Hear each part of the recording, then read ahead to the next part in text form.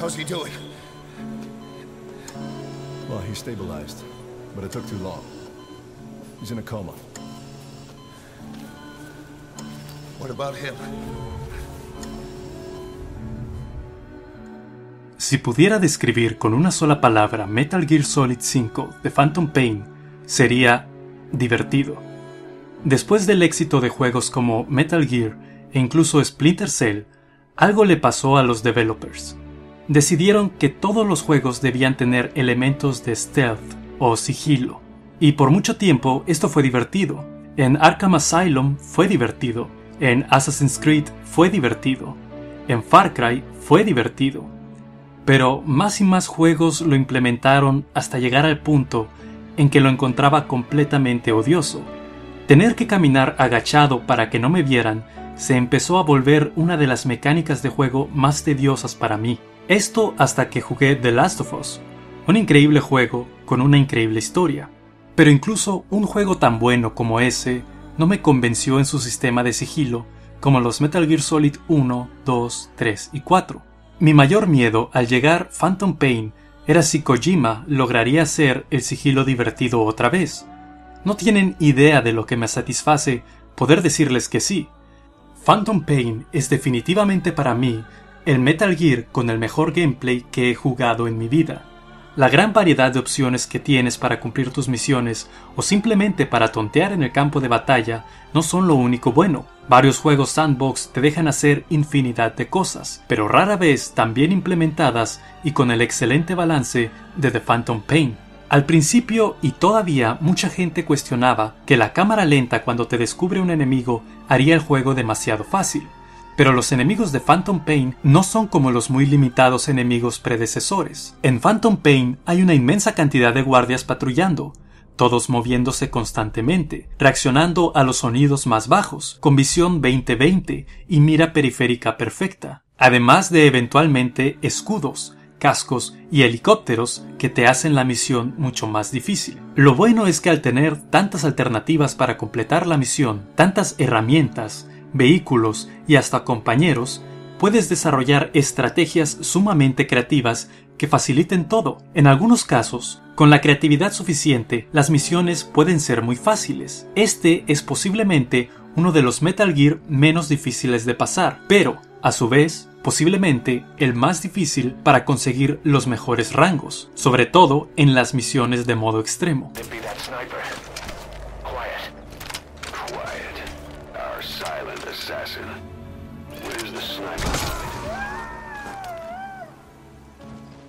A pesar de que en su jugabilidad Phantom Pain es tan, pero tan divertido, está saturado de problemas tan frecuentes que se vuelven más que una pequeña molestia. Al principio y al final de cada misión llegas en helicóptero. En lugar de aparecer inmediatamente en el punto de inicio, tienes que soportar la animación del viaje hasta llegar al punto deseado, lo que al principio tiene encanto, pero pronto se vuelve irritante. Esto, sumado al tiempo de carga previo a la misión y al tener que volver a sufrir la animación del helicóptero al final de cada episodio, te desespera inmensamente cada que reinicias la misión para lograr mejores rangos. Otro problema es que los servidores de Konami no sirven. Tal vez están saturados porque hay millones de personas jugando a la vez, pero te desconectan del modo en línea constantemente, y cuando estás conectado el tiempo de carga de tu iDroid la herramienta con la que administras todo en el juego se puede volver muy largo, ya que Konami está sincronizando tus datos con sus servidores para garantizar que no estás usando exploits ni dupliques dinero o recursos, pues ellos quieren venderte recursos con dinero real mediante microtransacciones que solo hacen el tiempo de carga mucho mayor de lo que debería. Ahora, hablando de la historia, Metal Gear siempre ha sido un juego con historias que son tan poderosas como ridículas. En este caso no es diferente. Si son fans de la saga, podrán apreciar los diálogos, incluso los diálogos cursis y las cinemáticas extremadamente largas. Sobre todo en el prólogo, que es básicamente una hora de video con algo de gameplay. Para los que no son fans, también la historia es algo amigable en el ritmo que es contada, pues en lugar de ver videos largos cada 15 minutos, ahora verás videos no tan largos, usualmente, entre cada dos o tres misiones. Sin embargo, la historia se disfrutará mucho más por aquellos que conozcan los juegos anteriores de Big Boss. Algo que debo decir es que la narrativa de Phantom Pain se ve dañada para mí por algo que llamo síndrome narrativo de Assassin's Creed, en el que deciden contarte los eventos importantes en videos muy interesantes para luego darles finales abruptos y con poco clímax. Advertencia. En este momento discutiré spoilers importantes sobre la historia. Si no quieres verlos, presiona este botón para brincarte a lo que le sigue. Ha sido advertido. Por ejemplo, el hombre en llamas, que obviamente era Volgin, y todos lo supimos desde los primeros trailers, muere aplastado por el Metal Gear de una forma completamente mediocre, tanto que ni quedó claro que había muerto hasta que te lo mencionan con un diálogo. Luego, cuando se hacen de su cadáver, todo parece que lleva a que de alguna manera va a revivir. Esto no sucede. También Eli, junto con Psycho Mantis y otros niños de guerra, roban el Metal Gear de Mother Base. Estás esperando a que llegue el momento de ir a recuperarlo. Eso tampoco sucede.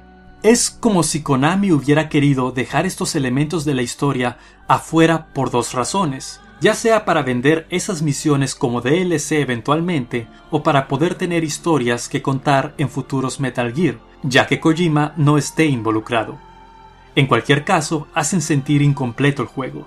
Además, y este es un gran spoiler, se revela que el Big Boss con el trozo de metralla en la frente es realmente un Big Boss falso, encargado de hacer crecer Diamond Dogs y Mother Base para que el verdadero Big Boss pueda trabajar en Outer Heaven fuera de la mira de Cypher. El problema es que la justificación es muy pobre. El haber tenido que crear un doble para poder trabajar en un proyecto secreto a estas alturas de la historia no se siente como algo que era necesario, se siente como si Kojima simplemente hubiera querido un gran giro inesperado, sorprender a todos, aunque fuera de una forma forzada. Pero a pesar de esto, la historia de Phantom Pain sigue teniendo momentos increíbles y secuencias de acción de primera. Aunado a los gloriosos gráficos, junto con animaciones realistas y sonido perfecto, es imposible no adentrarte e involucrarte con la narrativa y los personajes que la componen. Metal Gear Solid 5 The Phantom Pain sigue siendo un juego completamente recomendable para todos los fans de Metal Gear e incluso para los que no son fans. Tal vez no tiene la historia mejor contada de todos, pero esta sigue satisfaciendo y su jugabilidad es tan pulida y abundante que sería injusto pedir más en cuestión de contenido. Algo que me gustaría mencionar antes de terminar esta opinión es que, aunque es el último Metal Gear, el verdadero final de la historia fue en Metal Gear Solid 4, el cual cerró perfectamente la saga, y debemos ver The Phantom Pain como el fin de Big Boss como un símbolo. Porque aunque Konami siga haciendo juegos de Metal Gear en el futuro, todos sabemos que la verdadera historia es la que su creador escribió, y aunque él ya no vaya a estar involucrado con el desarrollo, podemos sentirnos alegres de que Phantom Pain, aunque sea el último verdadero Metal Gear, sigue siendo una excelente carta de despedida de su creador, Hideo Kojima.